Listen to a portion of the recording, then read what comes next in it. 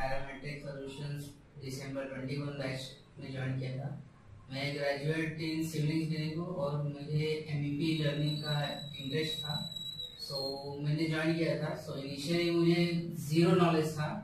But uh, यहाँ के जो प्रोफेसर्स हैं टीचर्स हैं लेक्चर्स हैं उन्होंने बहुत अच्छा लर्निंग किया। जैसे मैं मेरा बैकग्राउंड डिफरेंट था। स्टिल उन्होंने काफ़ी जब तक कोई टॉपिक समझ ना आ जाए तब तक वो उसी टॉपिक पे रहते थे एक्स्ट्रा एफर्ट देते थे।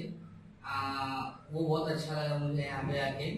सो यहाँ पे आके मैंने प्लम्बिंग सीखा फायर फाइटिंग सीखा इलेक्ट्रिकल सीखा एच सीखा। सो मैं ये बोल सकता हूँ कि छः महीना पहले जब मैंने ज्वाइन किया था और अभी मैं from zero to not hundred ninety percent तो नॉलेज मैंने अच्छा गेन कर लिया है।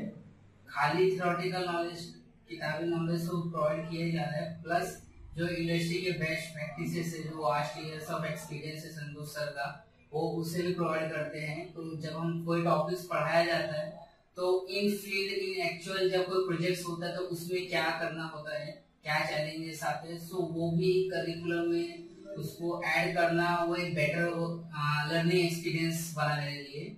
और प्लस जो प्रैक्टिकल के लिए साइड विजिट्स कराते हैं वो भी कि एक्चुअल में कैसे होता है एग्जीक्यूट कैसे होता है, जो हम बुक्स में पढ़ते हैं, उसको फ़ील्ड में किस तरह से लाया जाता है और क्या चैलेंजेस होते हैं, वो भी यहाँ पे कराया गया। So thank you for